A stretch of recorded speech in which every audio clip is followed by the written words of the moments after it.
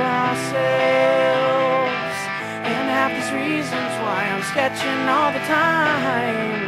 Years old is life in hell.